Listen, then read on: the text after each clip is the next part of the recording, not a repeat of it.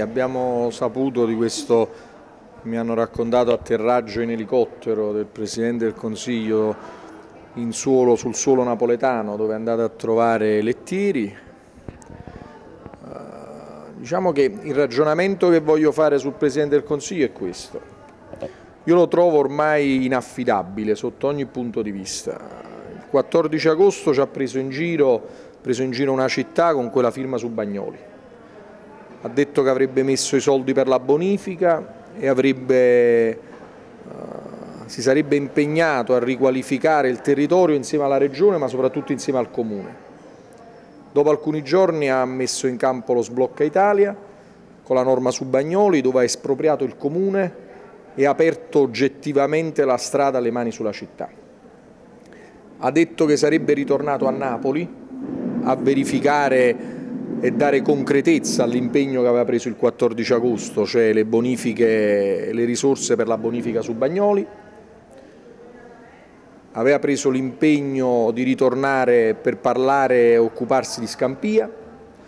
Io già da alcune settimane ho inviato un report molto importante di un lavoro su Scampia, un progetto fatto insieme al Comune, il Dipartimento di Architettura, i comitati, le associazioni e nulla ho saputo. Ricorderete che il Presidente del Consiglio un giorno si recò a una scuola di Secondigliano dove disse che avrebbe, eh, grazie al suo intervento, avrebbe consentito l'apertura dei cantieri in quella scuola. Altra retorica del nulla, non c'è stato nulla di nulla, quei cantieri si sono aperti grazie al Comune che ci ha messo le risorse e ha messo in campo i lavori.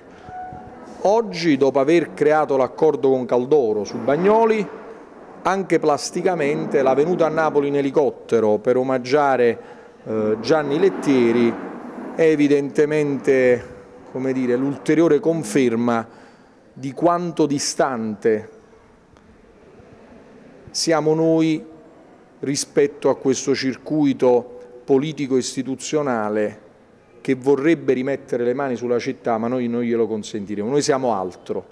Dispiace che siamo stati presi in giro il 14 agosto con quella firma, ma ormai il Presidente del Consiglio ha dimostrato la, tutta la sua inaffidabilità dal punto di vista istituzionale e politico ormai è evidente anche ai più piccini che Renzi di sinistra non ha veramente nulla. Ma Renzi sta facendo una cosa gravissima, sta violando la Costituzione, non tiene in alcun modo una città, non dialoga con gli organi costituzionalmente rappresentativi della città, un sindaco eletto democraticamente che lui attraverso il suo ministro dell'interno ha cercato eh, di far fuori attraverso cavilli formali dalle funzioni eh, di sindaco, non tiene conto del Consiglio Comunale, della volontà dei cittadini. Io credo che Renzi stia facendo, sta facendo qualcosa di profondamente antidemocratico, anti-istituzionale e devo dire che si sta assumendo responsabilità gravi. Noi non consentiremo un commissariamento di fatto e giuridico nostra, di una parte della nostra città. Lo contrasteremo con tutte le azioni giuridiche e lo contrasteremo anche con una lotta politica non violenta ma molto dura e molto determinata. Quindi è un atteggiamento politico e istituzionale che io trovo antidemocratico in alterazione degli equilibri istituzionali e direi per certi versi senza precedente. Senza precedente sta dimostrando sulla città di Napoli atteggiamenti addirittura peggiori rispetto ai tre governi che si sono preceduti prima di, prima di lui.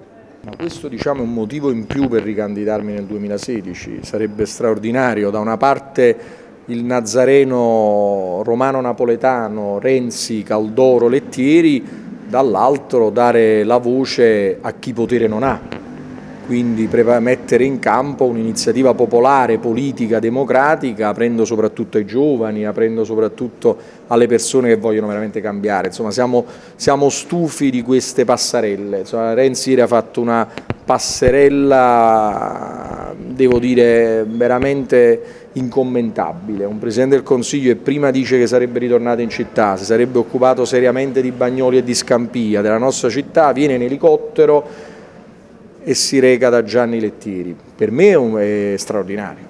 Cioè, un punto di vista politico, devo dire, non poteva far meglio. Come dire, quindi eh, da questo punto di vista è un genio. Credo che sia un genio della politica.